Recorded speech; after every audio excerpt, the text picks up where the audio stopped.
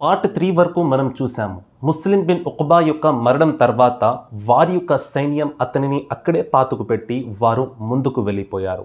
యజీద్ ఏం చేశారంటే ఇబ్నే నుమైర్ అనే నీచుణ్ణి వారితో పంపించాడు. ఇబ్నే నుమైర్ ఆ యొక్క సైన్యం మొత్తాన్ని చూసుకునేవాడు. యుద్ధం ఎలా చేయాలి? ఎవరిపైన ఎలా దాడి చేయాలి? ఇబ్నే నుమైర్ అనే నీచుడు మొత్తం చెప్పేవాడు. సోదరులరా ఎప్పుడైతే ఈ యొక్క సైన్యం యజీద్ పంపిన సైన్యం ఇబ్నే నుమైర్తో పాటు వీరు మక్కా షరీఫ్ చేరుకోగానే అక్కడ ఉన్న ప్రజలపైన దాడి చేయడం ప్రారంభించారు. అక్కడ మక్కా షరీఫ్లు ఆ సమయంలో పెద్దగా ఎవరున్నారంటే హజరత్ అబ్దుల్లా ఇబ్నే జుబైర్ రది అల్లాహు తాలా అన్హు అనే ఒక పెద్దయిన అక్కడ ఉన్నారు. సోదరులరా ఆయన చెప్పిన మాట పైన అమలు చేస్తూ మక్క నివాసులు యుద్ధం చేసేవారు మక్క నివాసులు పని చేసేవారు. హజరత్ అబ్దుల్లా ఇబ్నే జుబైర్ వారు ఏ విధంగా అయితే చెబుతున్నారో ఆ విధంగా యజీద్ యొక్క సైన్యం పైన మక్కా యొక్క నివాసులు దాడి చేస్తున్నారు. యజీద్ యొక్క సైన్యం కూడా వీరిపైన దాడి చేస్తుంది. ఈ యొక్క యుద్ధం ఆగలేదు. రోజంతా యుద్ధం జరిగింది. సోదరులరా ఎప్పుడైతే సాయంత్రం అయిందో వీరు విశ్రాంతి తీసుకున్నారు. కానీ విజయం ఎవరిది ఓటమి ఎవరిది కూడా నిర్ణయించలేకపోతున్నాము. సోదరులారా రెండో రోజు ఇబ్నె నుమైర్ నీచమైన మనిషి ఏం చేశారంటే ఈ విధంగా యుద్ధం చేస్తే మా సైన్యంలో ప్రజలు సైనికులు చనిపోతానే ఉంటారు విజయం మేము సాధించలేము. అందుచేత మీరందరూ ఏం చేస్తారంటే రాళ్ళ యొక్క వర్షాన్ని కురిపించండి అని సైన్యానికి ఆదేశం ఇస్తున్నాడు. సోదరులారా యజీద్ అంటేనే వెన్నపోటు పడిచేవాడు. యజీద్ యొక్క సైన్యం కూడా అదే పని చేస్తుంది. సోదరులారా రాళ్ళ యొక్క వర్షాన్ని కురిపించారు. ఆ సమయంలో మక్క షరీఫ్ మొత్తం రాళ్ళు రాళ్ళుగా కనపడుతున్నాయి. సోదరులారా కాబా షరీఫ్ చుట్టూ కూడా రాళ్ళు ఉన్నాయి. కాబా షరీఫ్ కూడా ఆ యొక్క రాళ్ళు వచ్చి తగులుతున్నాయి.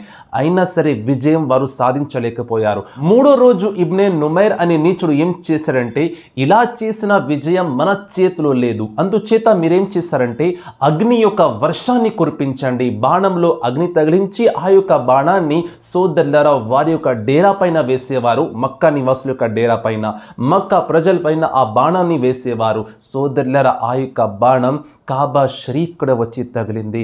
సోదరులర ఏ కాబా షరీఫ్? దేన్నైతే హజరత్ ఇబ్రాహీం మరియు హజరత్ ఇస్మాయిల్ అలీస్లాం వారు కట్టారు దేన్నైతే మహాప్రవక్త సల్లల్లాహు అలీ వసల్లం వారు సజ్దా చేసేవారు ఆ కాబా షరీఫ్ పైన రాళ్ళ యొక్క వర్షం అగ్ని యొక్క వర్షం బాణం యొక్క వర్షం అల్లాహు అక్బర్ ఆ యొక్క అగ్ని తగిలి కాబా షరీఫ్ కాలిపోతుంది సోదల్లర ఆ భయంకరమైన దృశ్యాన్ని ఏ విధంగా మాటల ద్వారా చెప్పగలము? కాబా షరీఫ్ పైన ఏదైతే గిలాఫ్ ఉంటుందో నల్లగుడ్డ అది కూడా కాలిపోయింది. సోదరులర కాబా షరీఫ్ లోపల ఒక మేక యొక్క కొమ్ములు ఉన్నాయి అది ఏ కొమ్ము అంటే హజరతి ఇబ్రాహీం అలీస్లాం వారు హజరతి ఇస్మాయిల్ అలీస్లాం అని కుర్బానీ చేయడానికి తీసుకువెళ్ళారు ఈ గాథా మొత్తం నేను వివరించి ఉన్నాను. ఆ సమయంలో హజరతే ఇస్మాయిల్ కాకుండా స్వర్గం నుండి హజరత్ జిబ్రాయిల్ వారు మేకని తీసుకువచ్చారు. ఆ మేక యొక్క కొమ్ములు అక్కడ ఉన్నాయి. సోదరులారా ఆ సమయంలో ప్రజలు ఏం చేశారంటే హజరత్ ఇబ్రాహీం అలీస్లాం వారు ఆ మేక యొక్క కొమ్ములు ఏదైతే హజరత్ జిబ్రాయిల్ అలీస్లాం వారు స్వర్గా నుంచి తీసుకువచ్చారో ఆ మేకను కుర్బానీ చేసిన తర్వాత దాని యొక్క కొమ్ములను వారు పవిత్రంగా భావించి కాబా షరీఫ్ లోపల పెట్టారు. మహాప్రవక్త సల్లల్లాహు వసల్లం వారి కాలంలో కూడా అది అక్కడే ఉంది. కానీ యజీద్ యొక్క సైన్యం కురిపించిన అగ్ని వర్షం కారణంగా ఆ యొక్క కొమ్ములు కూడా కాలి బూడిది అయిపోయాయి.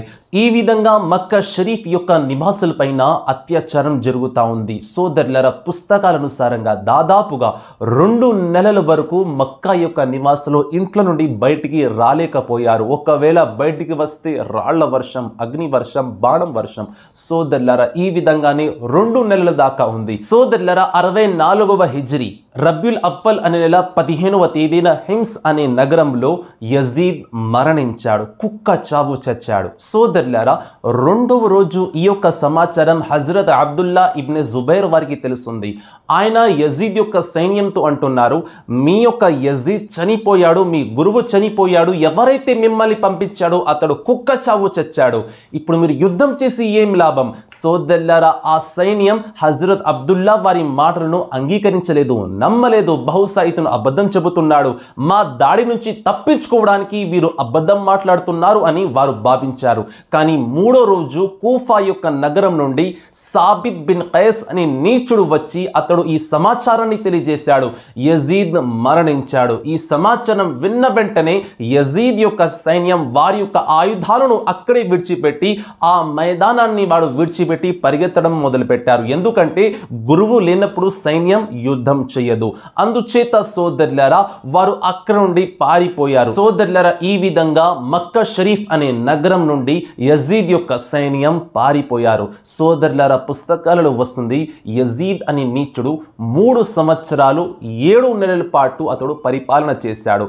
చాలా మందిని హింసించాడు చాలా మందిని బాధ పెట్టాడు ఎంతో మంది సహాబాలను అతడు చంపింగ్ చేశాడు దాడి చేశాడు. సోదరులారా మదీనా షరీఫ్ యొక్క నగరం పైన దాడి మక్కా షరీఫ్ యొక్క నగరం పైన దాడి. సోదరులారా ఎప్పుడైతే అతడు మరణించాడో అతడి యొక్క కుమారుడు ముఆవియా.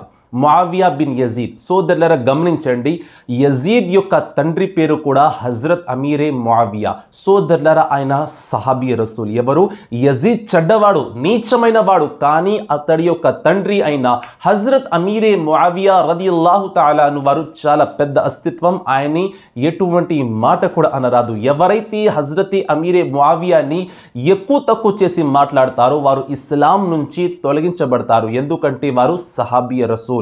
మహాప్రవక్త వారి యొక్క ప్రియమైన శిష్యుడు సోదరులరా చెడ్డవాడు ఎవరు? యజీద్. ఈ ఉదాహరణ కోసం చెప్పాలంటే హజరతి నూహ్ అలీస్లాం ఆయన ఒక ప్రవక్త. ఆయనని ఎవరైనా కించపరిచి మాట్లాడినట్లయితే ఇస్లాం నుంచి తొలగించబడతారు. ఎందుకు? ఆయన ప్రవక్త కాబట్టి. హజరత్ నూ అలీస్లాం వారి యొక్క కుమారుడు చెడ్డవాడు. సోదరులర కుమారుడు చెడ్డవాడు కదా అని తండ్రిని ఏమి అనకూడదు. ఎందుకంటే ఆయన తండ్రి ఒక ప్రవక్త. అలాగే యజీద్ నీచమైన వాడు హజరత్ అమీరే ముఆవియా వారు ఒక సహాబియ రసూల్ మహాప్రవక్త వారి యొక్క ప్రియమైన శిష్యుడు. అదేవిధంగా సోదరులారా తండ్రి పేరు కూడా మావియా కుమారుడు పేరు కూడా మావియా సోదరులారా యజీద్ యొక్క మరణం తర్వాత యజీద్ యొక్క కుర్చీలో కూర్చుంది ఎవరంటే యజీద్ యొక్క కుమారుడు అయిన మావియా అతడు ఆ యొక్క సమయంలో అనారోగ్యంగా ఉన్నాడు.